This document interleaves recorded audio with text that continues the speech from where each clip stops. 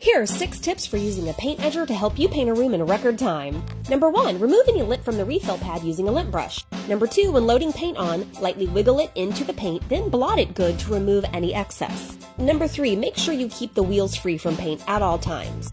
Always run the wheels on the dry part of your wall real quick before you begin. This will show you if there's any fresh paint on the wheels. If it's all clean, then you can begin applying paint to your wall.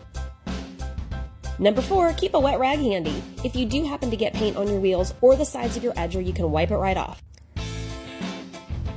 Number five, work in small sections. The edger will create this line here on the outer edge. You'll want to take care of that right away. Use the edger to do a small section, then switch to your roller so you can spread the paint from that line.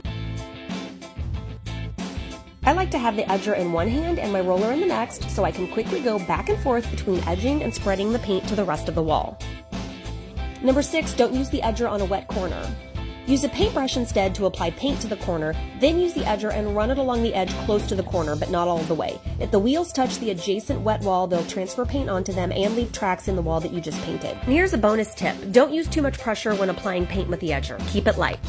And there you go, just keep switching back and forth between the edger and the roller as you work along and you'll have a great finish. Painted the top half of my half bath walls completely in 10 minutes per coat using this method. Drop questions in the comments, like and follow for more DIY.